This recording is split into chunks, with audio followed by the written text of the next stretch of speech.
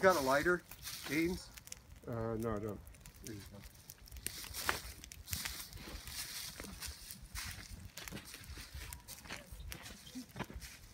This is already burned, but I'm gonna put a little flame in here again because it may have dried up Yeah, since the last time. okay.